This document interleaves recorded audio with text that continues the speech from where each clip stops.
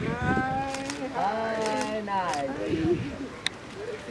you thank you sir sir एक second यहाँ interview चल रहा है सर कलम का sir hi hi sir hi